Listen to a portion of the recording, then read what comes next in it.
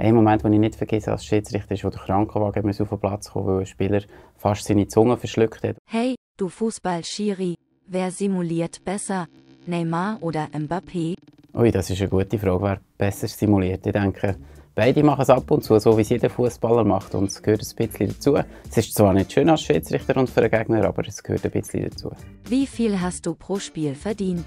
Als Schiedsrichter je nach Liga, sei es Challenge League, Super League, hat man äh, zwischen 1000 und 1500 Franken bekommen, hat aber auch im Beruf müssen reduzieren. Also es klingt nach sehr viel, aber mit all dem Aufwand, den man hat für Training vor oder nach dem Match, äh, mit Regeneration und so weiter, ist, ist es eigentlich nicht so viel. Das ganze Stadion pfeift dich aus. Was geht dir durch den Kopf? Ja, wenn sie auspfeifen und du weißt, es ist berechtigt, dann tut es dir leid. Und sonst ist es manchmal so ein bisschen eine Motivation, um noch mehr äh, Gas zu geben und noch bessere Entscheidungen zu fällen. Welche Karte magst du lieber? Rot oder gelb? Ähm, es ist beides nicht schön zum geben. Ich sage mal, eine gelbe Karte ist weniger schlimm für einen Spieler und für die Mannschaft. Eine rote heisst halt wirklich Ausschluss.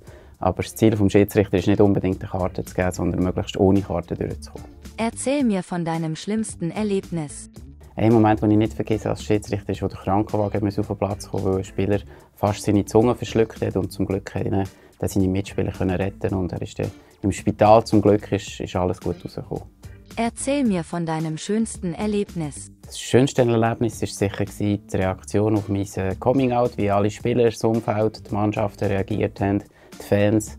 Ähm, ja, wenn man mal eine Regenbogenfahne sieht im Stadion, das ist sicher etwas ganz Schönes, das einem selber berührt und trotzdem muss man den Fokus gerade wieder aufs Spiel setzen.